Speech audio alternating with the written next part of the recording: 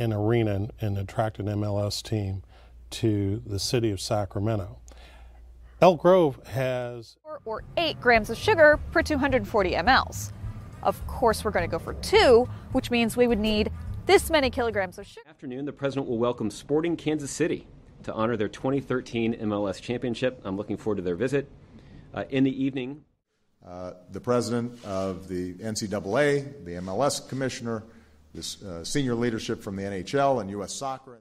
it's kind of hard to catch on right now if you're an outsider looking in, uh, as far as like what what is the USL and, and League One and, and MLS and everything is.